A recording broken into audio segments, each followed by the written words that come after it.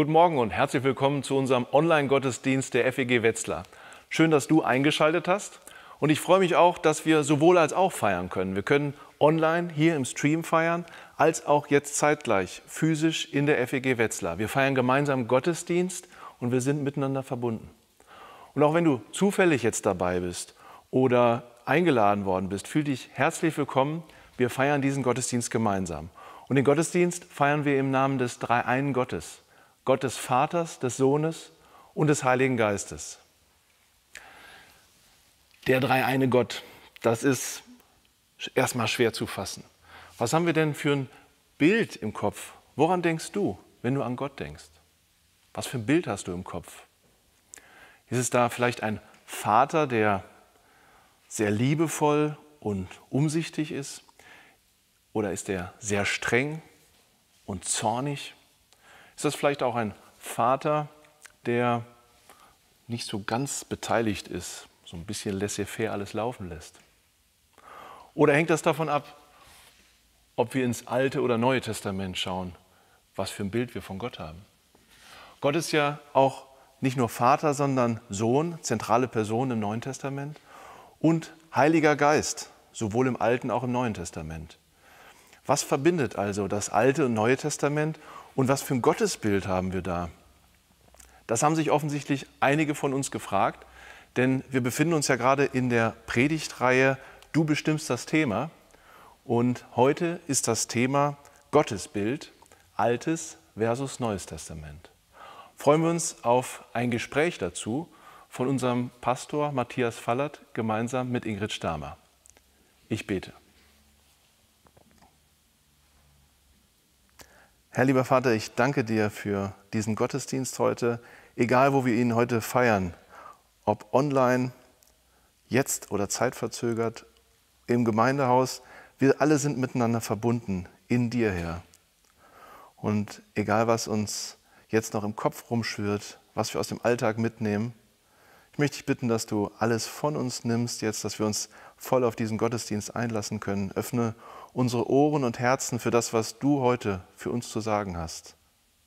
Ich bitte dich, segne diesen Gottesdienst. Amen.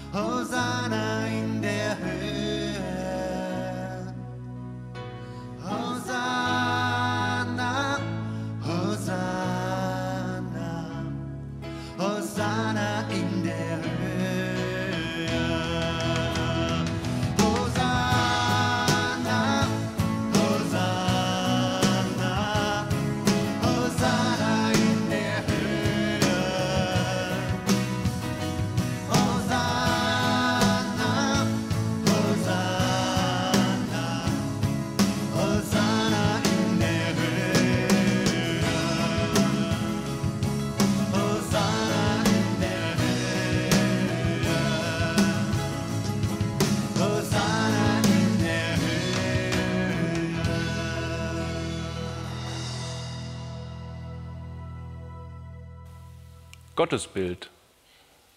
Altes versus Neues Testament. Das ist unser Thema heute.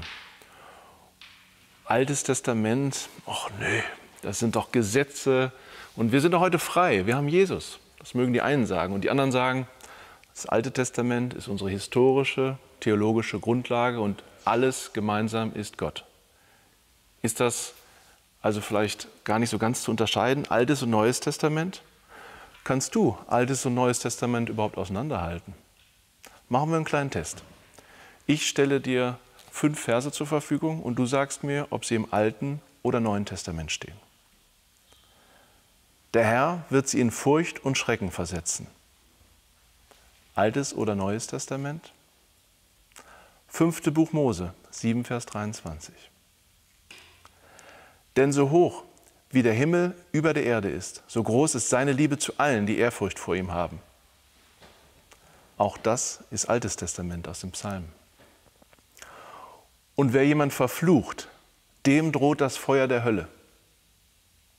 Altes oder Neues Testament? Das sagt Jesus in der Bergpredigt.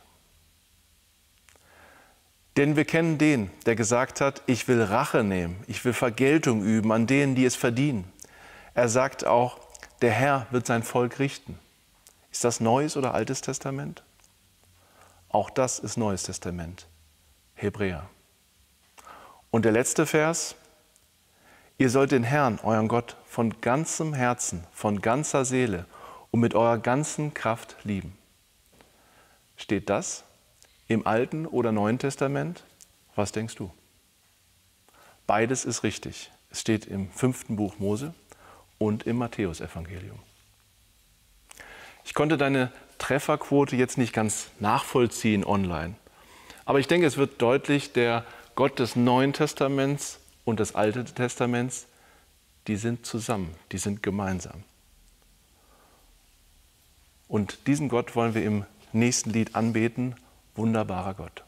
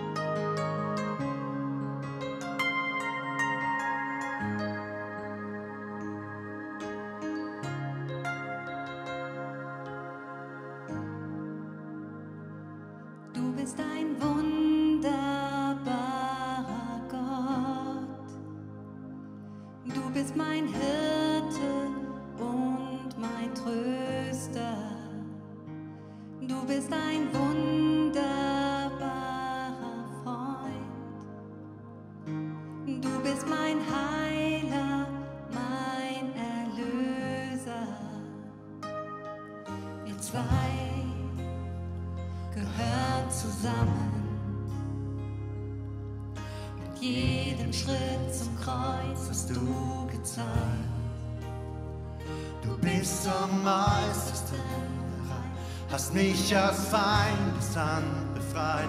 Und ich weiß, ein wunderbarer Gott bist du. Ich sing zu dir, ich ruf dir zu, heilig, schön und königlich. Wunderbar bist du, wunderbarer Gott, ich weiß, das ganze Universum preist Größe deiner Herrlichkeit. Wunderbar bist du, wunderbar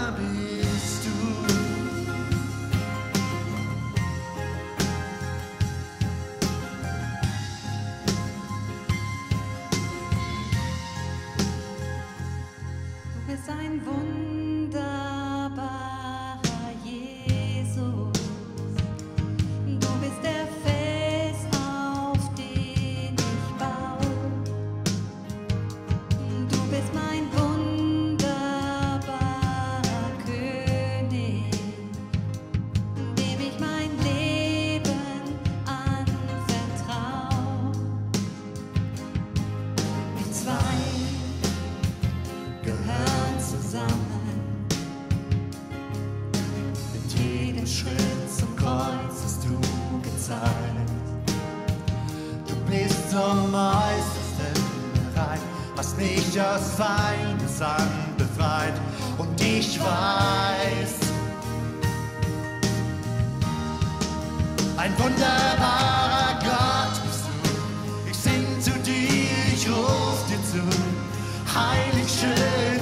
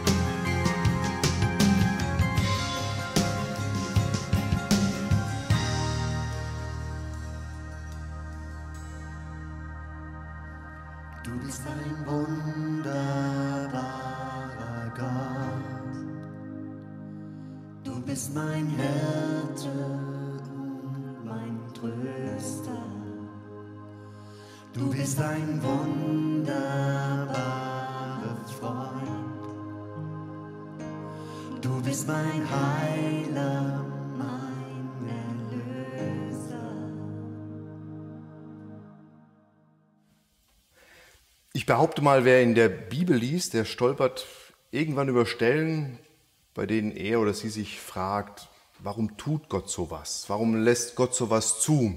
War das bei dir, Ingrid, auch mal der Fall? Ja, also bei mir war das so. Als ich Kind und Jugendliche war, wenn ich Bibel gelesen habe, ich habe die schwierigen Seiten einfach überblättert. Hat mir nicht gefallen. Und als ich dann auf die Bibelschule ging, musste ich mich damit auseinandersetzen. Dann musste ich lesen vom Zorn Gottes, vom Gericht Gottes oder von Völkern, die vernichtet wurden. Und das war hart für mich. Also ich bin dann in eine Glaubenskrise reingekommen.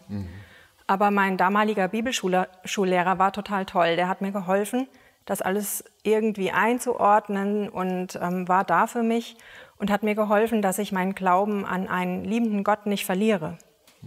Und wie war es bei dir? Ja, ich startete so mit zwölf, meinen ersten Versuch, mal die ganze Bibel so durchzulesen von vorne.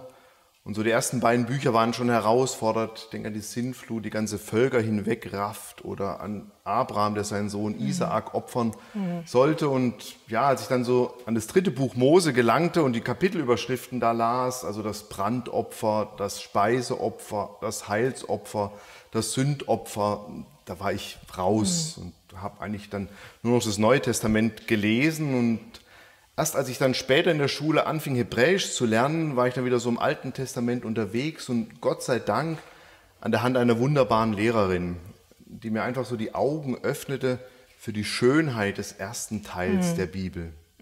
Wie schön. Ja, ich glaube auch, dass viele Christen einfach sagen, äh, ich will mit dem Alten Testament nichts zu tun haben.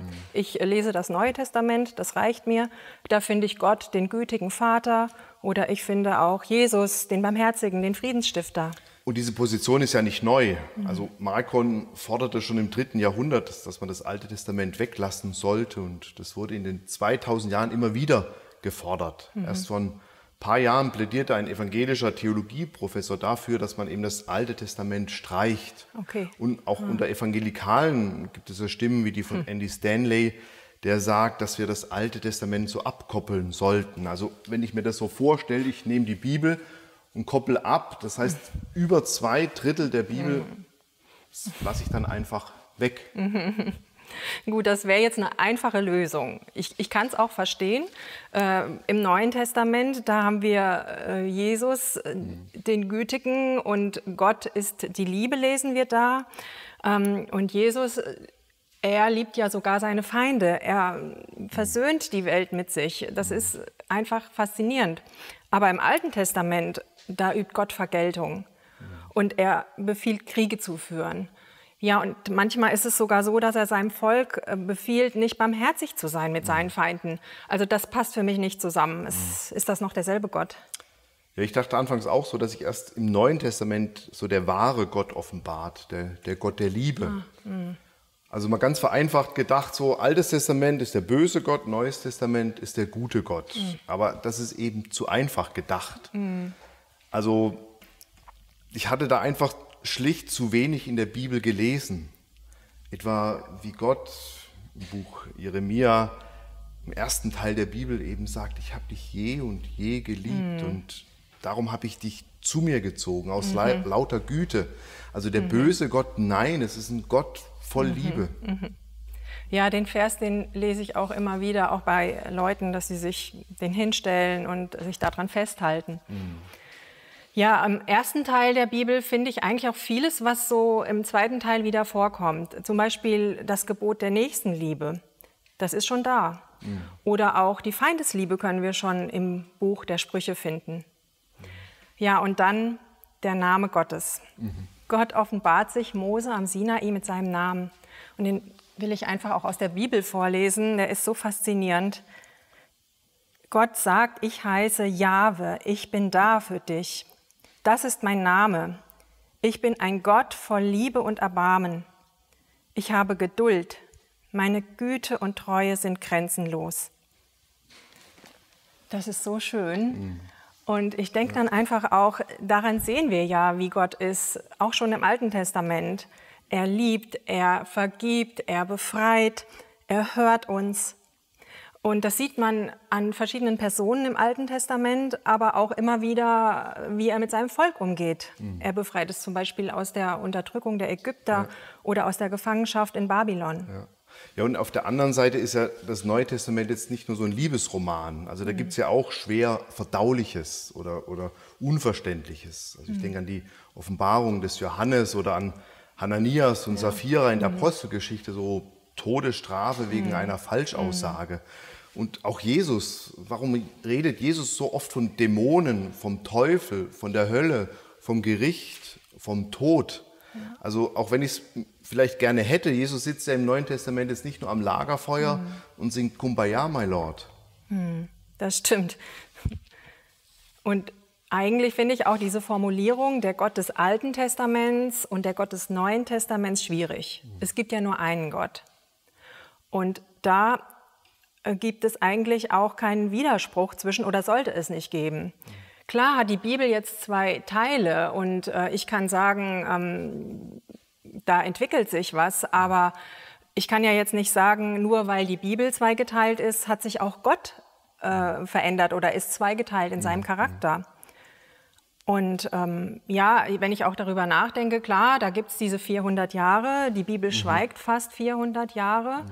Ähm, und ich kann schon sagen, was ist denn da? Nimmt sich Gott da so eine Art Bedenkzeit oder was ist da los? Ja, oder er holt sich einen Unternehmensberater ins Haus und sagt zu ihm, du, also ich komme nicht mehr so gut bei meinem Volk an, könntest du mich da mal ein bisschen marketingtechnisch aufpimpen? Mhm. Und der Unternehmensberater sagt, ja, kein Problem, mhm. du, wir machen einfach aus dir den Gott des Neuen Testaments, mhm. den Tempel, den lassen wir mal weg. Und dann schicken wir deinen Sohn, Jesus, Gott 2.0 und der wird everybody's darling und den werden mhm. alle lieben und so werden auch alle dich lieben. Mhm. Und das ist natürlich Quatsch, ja. wenn man das so denkt. Also mhm. im Jakobusbrief heißt es, er, der Vater des Lichts, ändert sich nicht. Mhm. Also Gott bleibt unveränderlich derselbe. Ja. Also sein Charakter bleibt durch die Jahrhunderte hindurch gleich. Mhm. Und genau so Jesus. Hebräerbrief heißt es, er ist derselbe. Mhm. Gestern, heute und in alle Ewigkeit. Mhm. Ja, mir fällt da auch der Apostel Johannes ein, mit dem wir uns ja im Mai genau. beschäftigt haben. Ja. Und Johannes schreibt, Gott ist Liebe. Er hat Jesus erlebt, er ist mit ihm gegangen und er ist zu diesem wunderschönen Schluss gekommen, Gott ist Liebe. Mhm. Ja, und er war ja ein gläubiger Jude. Mhm. Er kannte ja Mose, er kannte die Propheten, er kannte das Gesetz. Und trotzdem gab es für ihn da keinen Widerspruch. Er bleibt dabei, Gott ist Liebe. Mhm. Ja, und Gott hat für ihn da äh, nicht zwei Gesichter. Es gibt den leidenschaftlichen Gott vom Alten Testament, den Heiligen, Aber das ist der gleiche wie der liebevolle Abba, von dem Jesus spricht. Und auch der Hirte Israels ist der Hirte, der sich um sein verlorenes Schaf kümmert und den Jesus nennt, ja. Und sicher, es gibt da schon Unterschiede zwischen den beiden äh, Testamenten, Ja. aber es gibt eben auch äh, ganz äh, viele Gemeinsamkeiten. Ja, ich denke, es gibt so einen roten Faden, der sich da durchzieht. Also, dass es darum geht, dass, dass das Volk Israel und alle Menschen erkennen, dass Gott der Herr ist. Also, dass Gott unter seinem Volk wohnen will, heißt Ja. es immer wieder. Dass er eine Sehnsucht hat, unter diesem Volk zu wohnen, trotz des Sündenfalls, trotz des goldenen Kalbs und trotz dessen, was ich bisher oder auch künftig alles so verbockt habe. Also es wird immer klarer und mit Jesus dann überdeutlich, diese Sehnsucht unter dem Menschen zu wohnen, wenn es im Johannesevangelium heißt, und das Wort ist Fleisch geworden und hat unter ihm gewohnt. Also dieses Evangelium, dass Gott gegenwärtig ist, dass Gott da ist, das ist auch schon im ersten Teil der Bibel hörbar. Und genau so zieht sich durch, dass Gott in beiden Teilen de- dem Volk deutlich machen möchte, dass es ein richtig und ein falsch gibt. Und das Handeln eben auch Konsequenzen hat. Aber ich denke, es ist wichtig klar zu haben, dass Gottes Gebote jetzt nicht so ein moralischer Zeigefinger sind, sondern Gottes Hilfen zum Leben. So, dass Gott dazu sagt, damit du lebst. Ja, wir haben da mal was erlebt in der Familie und da habe ich das auch das erste Mal so richtig begriffen. Ähm, Jakob, unser Sohn, als er noch klein war, mussten wir mit ihm äh, in den Kindergarten laufen an einer schmalen Straße. Die war aber doch recht befahren. Und wir mussten ihn an die Hand nehmen. Es wäre viel gefährlich, viel zu gefährlich sonst gewesen. Ja, und er hat das nicht gewollt. Er hat versucht, sich loszureißen. Er hat das wahrscheinlich als Freiheitsberaubung äh, empfunden. Und er hat sich innerhalb von einem Jahr dreimal den Arm ausgekugelt oder gezerrt. Ja, und äh, eigentlich war es ja nur gut für ihn, dass wir ihn festgehalten haben, aber er hat das nicht verstanden damals, äh, dass dieses Gebot, damit du lebst, ähm, für ihn war und dass es ihm gut getan hat. Er konnte diese Gefahr einfach noch nicht abschätzen. Also eben, dass mir auch in den Geboten der liebende Gott begegnet, der eben sagt, damit du lebst. Und du kannst ja von vorne anfangen. Du kannst mit Adam und Eva im Paradies starten. Da, da läuft ja einiges schief. Ja? Und Gott sagt ja dann nicht, Experiment Menschheit hiermit beendet. Dann wäre die Bibel recht dünn geworden, nur so drei Kapitel. Sondern Gott sagt zu ihnen, ja, ihr müsst den Garten verlassen. Das ist die Konsequenz eurer Handlung. Aber ich gebe euch Kleidung, ich gebe euch eine Aufgabe und ich gehe mit euch mit. Ich will weiter unter euch wohnen. Also da steckt von Anfang an Gnade drin. Die kommt nicht jetzt erst mit Jesus ins Spiel oder im Neuen Testament, die ist von Anfang an da. Und eben auf der anderen Seite ist Jesus auch einer, der uns immer wieder die Konsequenzen unseres Handelns aufzeigt. Also keiner spricht in der ganzen Bibel häufiger von der Hölle und vom Gericht als Jesus. Also er macht klar, dass am Ende Verantwortung geschehen muss. Aber Jesus zeigt eben, dass er bereit ist, die Konsequenzen für unser Handeln eben zu tragen am Kreuz. Ja. Ja, dann ist also in beiden Teilen der Bibel Platz für das Gesetz und aber auch Platz für Gnade und Liebe. Ja. ja. Und dann gibt es auch kein Entweder-Oder, denn beides gehört zusammen. Ja, und Jahwe und Jesus werden ja auch beide zornig bei den gleichen Dingen, wie wenn Ungerechtigkeit geschieht oder wenn Barmherzigkeit fehlt. Ja, und dann könnte man ja eigentlich auch sagen, dass man diese Trennseite hier zwischen dem Alten und dem Neuen Testament, dass das keine Trennseite ist, sondern vielleicht viel eher sowas wie ein Doppelpunkt. Sehr schön, ja. Ja. Denn eigentlich ist es ja so, dass das Neue Testament dann auf dem Alten aufbaut. Und äh, dass wir vieles vom ersten Teil erst verstehen, wenn wir Jesus verstehen. Und dass wir auf der anderen Seite Jesus erst richtig begreifen können, wenn wir das, was im Alten Testament auch schon über ihn steht, an Verheißungen und an ja, Vorbereitungen, wenn wir das begriffen haben. Zum Beispiel Ostern, das ist ja auch so. Das, das kennen wir ja, aber ich finde es immer wieder faszinierend, dass Ostern seinen Ursprung schon im Passafest hat. Ja, ich denke, es lohnt sich da einfach noch mehr nachzuforschen. Also es gibt da einfach in der Bibel ganz viele Querverweise. Und es ist so, dass die beiden Teile sich ergänzen. Also viele Themen, die im ersten Teil der Bibel angesprochen werden, werden dann im zweiten Teil nicht nochmal aufgegriffen oder wiederholt. Also ich denke an, an die Psalmen, Ja. die ganzen Emotionen, die da drin stecken und ja, die dann ins Gebet vor Gott gebracht werden. Oder an die Bedeutung von Liebe und Erotik. Also da finden wir im Neuen Testament wenig dazu. Also das verpassen wir alles, wenn wir einfach diesen ersten Teil weglassen. Und ich glaube, dass Jesus um die Gefahr weiß, dass seine Jünger immer wieder so denken können, ja, also den ersten Teil, der gilt für uns nicht mehr. Und dass er deswegen ganz bewusst in der Bergpredigt sagt, denkt nicht, ich sei gekommen, um das Gesetz und die Propheten aufzuheben. Also ich bin nicht gekommen, um aufzuheben, sondern eben um zu erfüllen.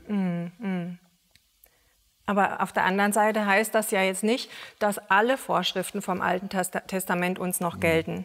Also zum Beispiel diese kultischen Gesetze, die gelten uns ja nicht mehr.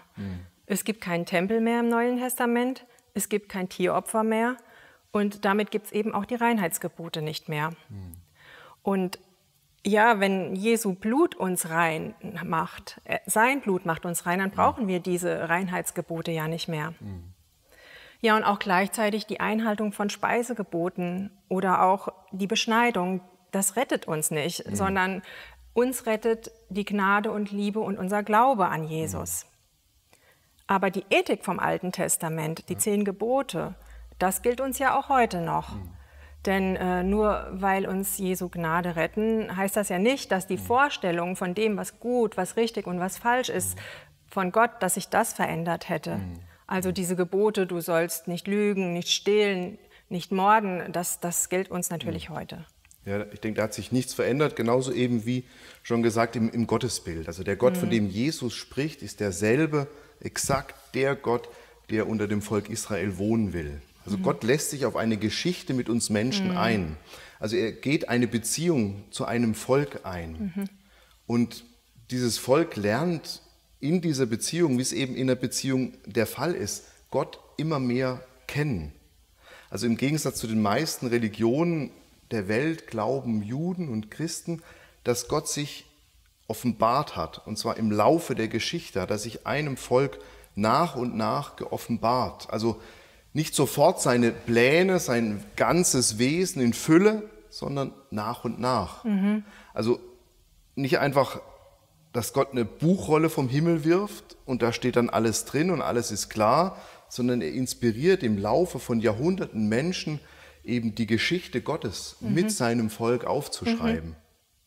Und du denkst also, dass das Volk Israel nach und nach verstanden hat, was sein Wille ist, dass es verstanden hat, wer auch Gott ist für sein Volk?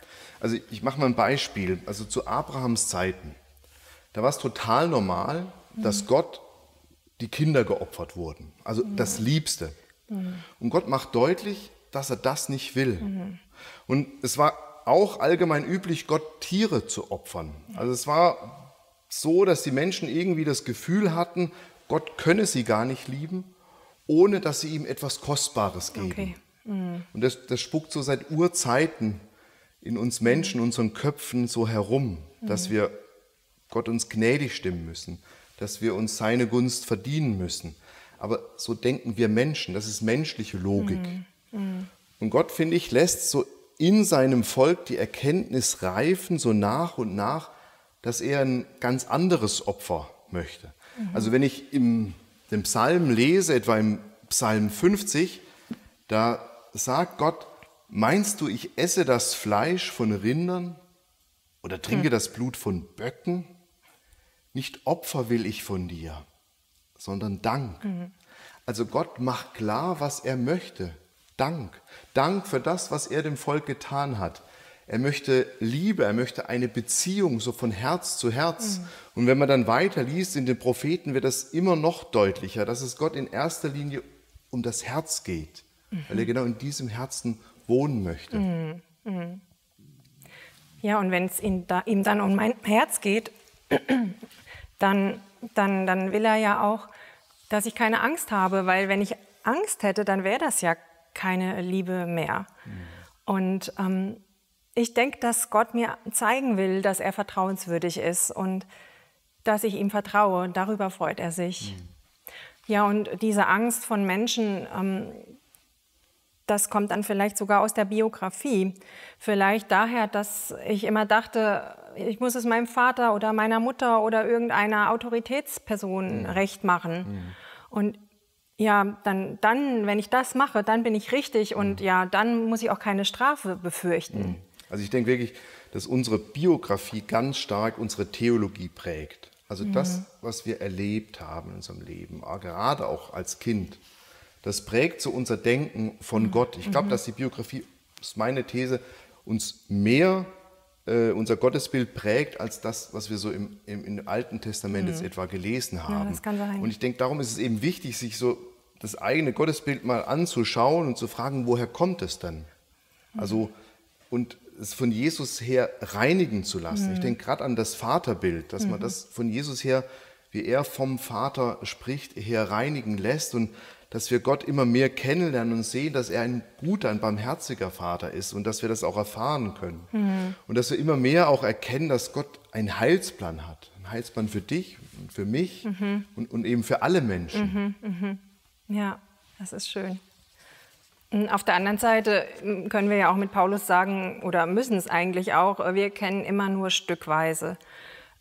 Letztlich können wir Gott nicht richtig verstehen in, in seiner Gänze.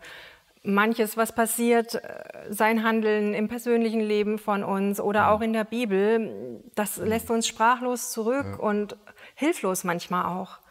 Und dann denke ich, es, es gibt einfach nicht so einen Code, so einen, so einen Gottescode, mit dem wir Gott entschlüsseln können. Mhm. Das, das geht leider nicht. Und ähm, ja, seine, seine, sein Wesen, das ist immer noch viel, viel größer als unsere Gedanken, die wir uns so über ihn machen. Mhm. Aber gleichzeitig ist er so gnädig und will uns ja begegnen. Mhm. Er will uns ganz nahe kommen und auch persönlich werden und auch uns Erfahrungen mit ihm schenken. Ja, das finde ich einfach wunderbar. Ja. Also, dass sich Gott uns zeigt und gleichzeitig doch auch verborgen bleibt. Mhm. Also, wenn ich mal von der Beziehung, von der langjährigen Beziehung her denke, dann, dann ist es ja auch so. Man kennt sich super gut und gleichzeitig ist jedem klar, dass der andere auch nochmal ein Geheimnis ist mhm. und auch fremde Seiten hat. Mhm. Und wenn ich jetzt so in der Bibel lese und auf Stellen stoße, die mir fremd sind, die ich einfach nicht verstehe, da mache ich es wie beim Puzzeln. Also ich nehme das Teil und lege es einfach mal zur Seite. Aha. Aber ich puzzle weiter. Also ich lese weiter in der Bibel. Ich höre nicht auf, nur weil es jetzt zu schwierig ist. Ich denke, das ist oft mhm. eine Gefahr. Ja, mhm. das wird jetzt kompliziert, da steige ich aus, sondern dran zu bleiben. Weiter zu puzzeln, zu gucken, ja, was ist denn mit der Stelle? Passt die vielleicht, dass man so versucht, seinen Blick zu weiten, mehr so ein Panoramablick mhm. zu bekommen und dann zu fragen, ja, warum steht denn der Satz da? Worauf bezieht er ah, sich? Ah, Was ist der, der Kontext? Denn, denn auch wenn ich es jetzt noch nicht verstehe, also bin ich eben fest davon überzeugt, dass da mehr dahinter steckt. Also ein Sinn, der sich mir jetzt noch nicht erschlossen hat, aber den Sinn, den ich so nach und nach immer mehr verstehen möchte. Mhm. Ja, und machst du das dann auch so mit den äh, schwierigen Stellen, also da, wo Gewalt drin vorkommt? Also es ist klar, manche Kapitel in der Bibel sind einfach nur grausam. Mhm. Aber ich denke, so brutal war die Welt eben damals. Ja. Und die Welt ist ja auch heute grausam, mhm. brutal. Also für mich ist nicht so die Gewalt überraschend im mhm. Alten Testament. Die ist eben an der Tagesordnung. Aber was für mich überraschend ist, dass inmitten dieser ganzen Gewalt plötzlich so neue Ideen auftauchen. Dass plötzlich die Idee auftaucht, dass das Volk Israel zum Segen werden soll für die anderen Völker. Dass mitten in diesen Geschichten von Gewalt neue Ideen auftauchen, die Idee von Freiheit, die Idee von Gerechtigkeit, auch, auch die Idee von Gewaltlosigkeit, von Mitgefühl von Liebe, mhm. ja auch, auch von Feindesliebe. Mhm. Doch eben braucht es Zeit. Es braucht Zeit, dass sich diese neuen Ideen so nach und nach durchsetzen. Das ist nicht alles so von Anfang an fertig und klar gewesen. Mhm. Ich denke, es brauchte so Jahrhunderte des Reifens und des Lernens. Also die hebräische Bibel ist für mich in meinen Augen nicht nur eher kein Ergebnisprotokoll, sondern eher so ein Verlaufsprotokoll, ah, wo sich so eine Entwicklung abzeichnet, dass die Menschen immer mehr entdecken, wie Gott ist und wie er zu ihnen steht. Ja, und letztlich hat sich ja auch mein persönliches Gottesbild mit der Zeit verändert, nach und nach. Erst habe ich geglaubt, es ist ein Gott, der Leistung fordert. Und mit der Zeit habe ich gemerkt, er liebt mich bedingungslos. Und es wurde dann der eine, Gott wurde dann mein Gott, mein Vater und ich sein Kind. Und das, was ich jetzt tue, das tue ich aus Dankbarkeit und nicht, weil ich denke, ich muss es ihm recht machen. Ja. Und so würde ich einfach sagen, der eine Gott, der Gott der ganzen Bibel, der meint's gut mit uns. Ja, da kann ich nur ein Wort sagen. Amen. Amen.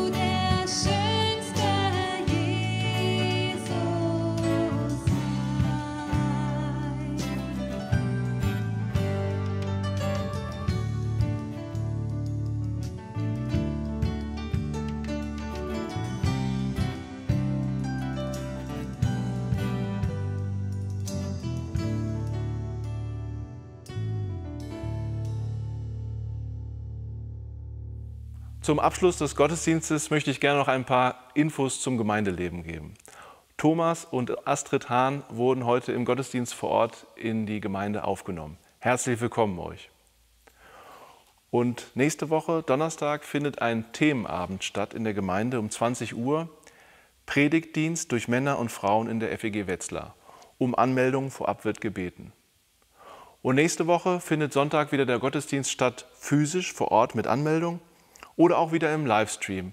Du kannst auch Freunde dazu einladen, dass ihr den gemeinsam schaut, den Livestream. Alles ist möglich im Gottesdienst nächste Woche. Wir bitten auch jetzt wieder um eine finanzielle Unterstützung, die dieses Mal für die Mission bestimmt ist. Du kannst es auf der Internetseite oder gleich eingeblendet die Informationen für eine Überweisung einsehen. Wir stellen uns jetzt unter den Segen Gottes. Natürlich aus dem Alten und aus dem Neuen Testament. Der Herr segne dich und behüte dich. Der Herr lasse sein Angesicht leuchten über dir und sei dir gnädig. Und der Friede Gottes, welcher höher ist als alle Vernunft, bewahre dein Herz und Sinn in Christus Jesus. Amen. Einen gesegneten Sonntag und bleib gesund.